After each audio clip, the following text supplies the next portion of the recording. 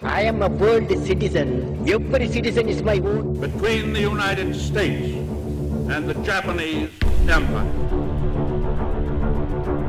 о проведении специальной военной операции.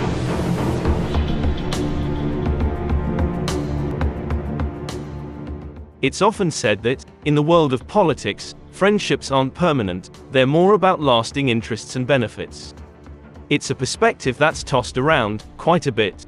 While this perspective holds true in many instances, however, there are also cases where diplomatic, cultural, or historical ties contribute to the development of genuine friendships between nations. We're all familiar with the enduring relationship between India and Russia, or in the realm of India's major diplomatic ties, much attention is often given to its relationships with the United States and China. But did you know that there's been a Western ally standing with India since 1961, and that country is France? The bond between India and France is not just a recent affair, it's been thriving since the early days of India's nationhood, and even long before that. The valuable alliances that India has cultivated with France tend to be overlooked, despite the significant strategic potential this partnership holds, particularly in the Indo Pacific era. Today, we're going to explore how this long standing friendship has influenced where India stands globally by looking back at the past, considering the present, and even pondering its impact on the future. And how can India reap benefits from this solid friendship? So, stick around for these intriguing discussions that truly matter. Since 1998, India and France have been strategic partners, keeping their relationship pretty strong and steady. It might not get the same spotlight as India's ties with the United States or Russia, but that's kind of the charm. Being underrated gives space for leaders and diplomats on both ends to work on things without carrying the baggage of too many expectations.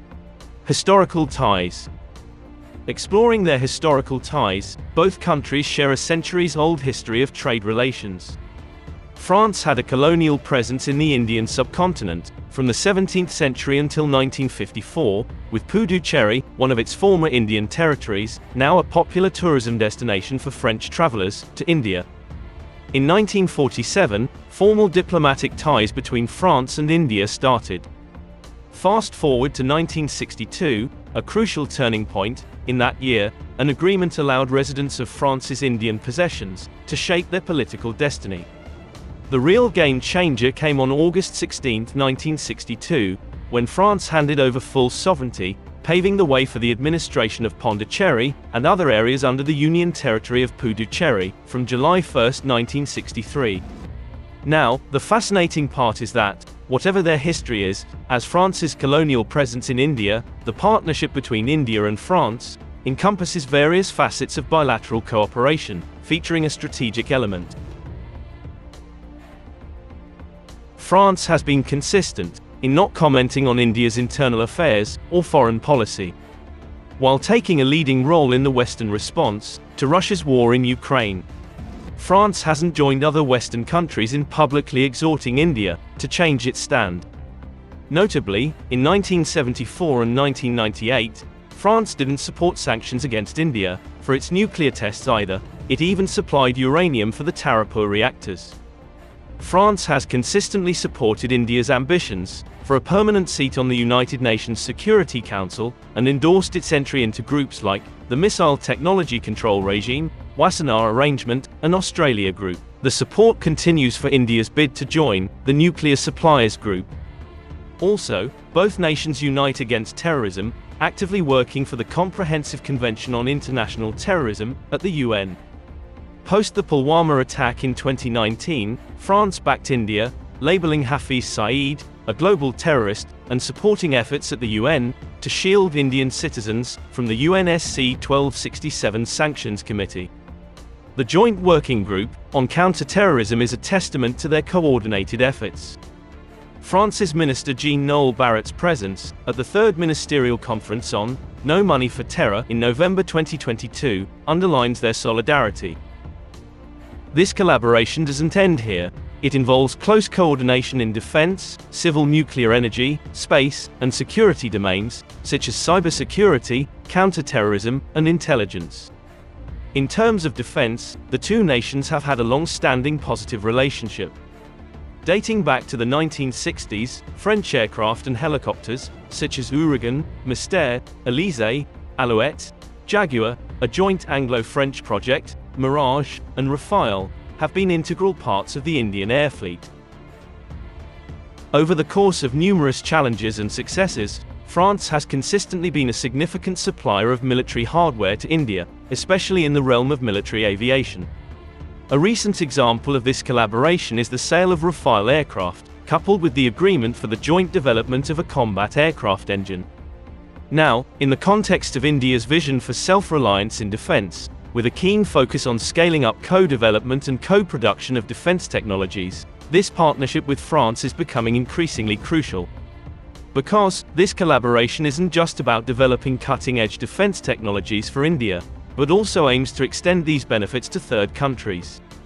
It's aimed at sharing these advancements globally, reaching beyond borders for mutual benefit. A noteworthy example is the shareholders agreement, inked between Hindustan Aeronautics Limited and France's Safran helicopter engine, a significant stride in the development of the Indian multi-role helicopter. This project not only strengthens India's defense capabilities, but also opens avenues to share this advanced technology with other countries, promoting collaboration and mutual benefit. Beyond this, more ambitious submarine projects are on the horizon, building on the success of the first Scorpène submarine construction program P-75 Kalvari. An additional memorandum of understanding has been signed between Garden Reach Shipbuilders and Engineers Limited and Naval Group France for the development of surface ships. As part of further strengthening defense ties, India is establishing a technical office of the Defense Research and Development Organization at its embassy in Paris. In the digital payments sector, India's NPCI International Payments Limited, NIPL and France's Lyra Collect, teamed up to introduce UPI payments in France and Europe. This means that retailers in France can now utilize UPI as their digital payment system, making France the first European country to enable such payments. In a nutshell, it's a significant development that expands the reach of UPI beyond India. The partnership also extends into space collaboration, marking a critical aspect of the bilateral relationship, with global implications. The Indo-French space collaboration achieved significant milestones in recent years. Back in 2013, India tapped into French expertise to launch strategic communication satellites for its navy. Fast forward to August 2019, there was a groundbreaking commitment between CNES and ISRO. They decided to team up and create a one-of-a-kind satellite constellation, designed for continuous ship tracking and detecting oil spills. Also, France's participation in ISRO's upcoming Venus mission in 2025 marks another significant leap, opening new avenues for international cooperation in space exploration. Their teamwork went beyond space exploration into climate monitoring, resulting in the creation of Trishna, a cutting-edge high-resolution thermal observer. This innovation is specifically designed for applications, such as sustainable agriculture and drought forecasting. The satellite for this mission is expected to be launched in either 2024 or 2025.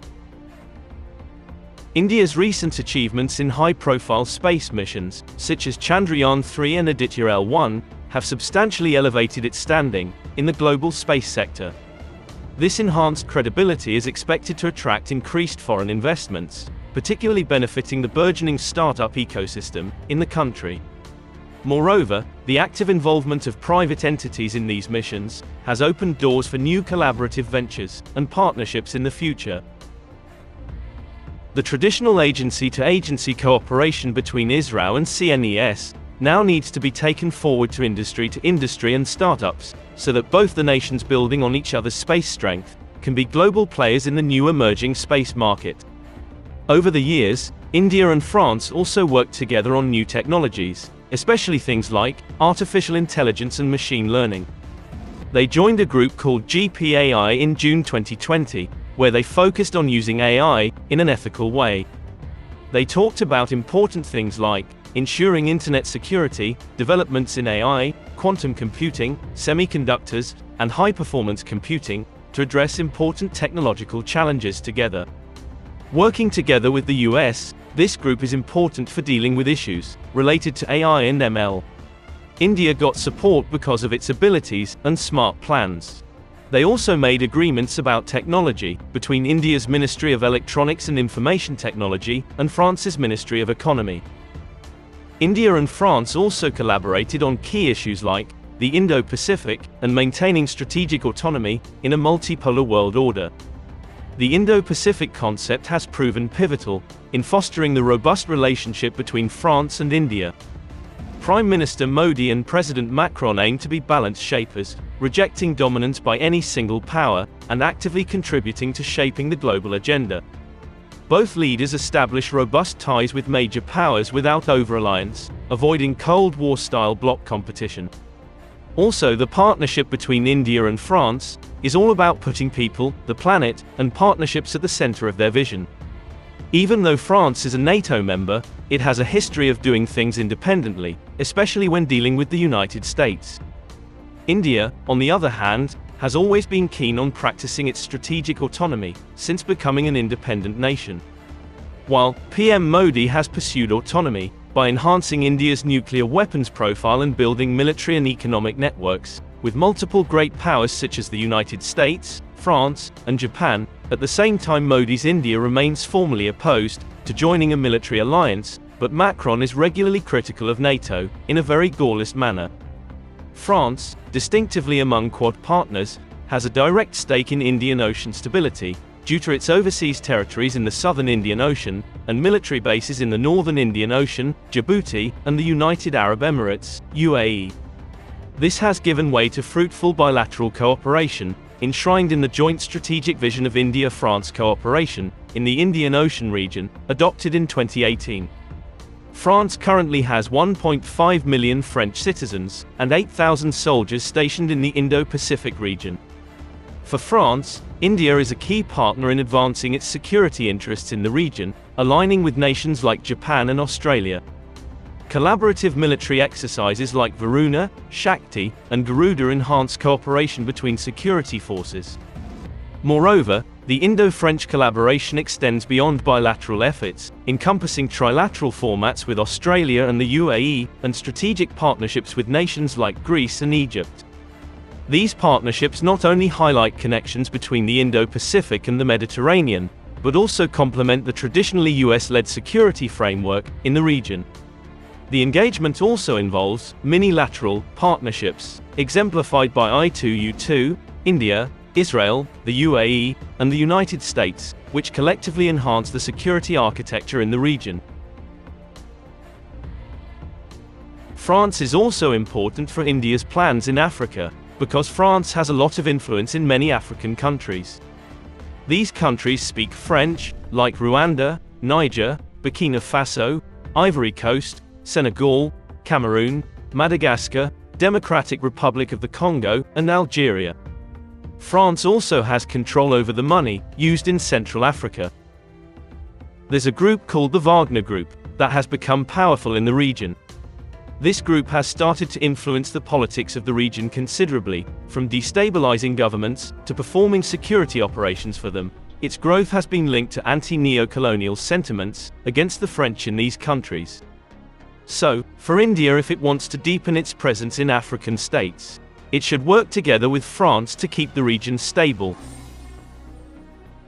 India's friendship with France also holds significance for its future in Europe. As India discusses a free trade agreement with the EU, having a strong partnership with a major player like France will play a crucial role. There are some sensitive matters, like investor protection agreements, require affirmation from individual countries, even for the broader FTA to be approved by the European Parliament. Therefore, this partnership adds weight and speed to the entire process. New Delhi and Paris navigate strategic landscapes with a savvy perspective, weaving sensibility not only in the Indo-Pacific but also across diverse realms. They reject the binary notion of with us or against us, and sculpt a nuanced approach to international relations. Like adept sailors, navigating the waves of competition, cooperation, and disagreements, India and France chart their course. Steering clear of entanglements, they have the potential to forge friendships and partnerships even stronger than before.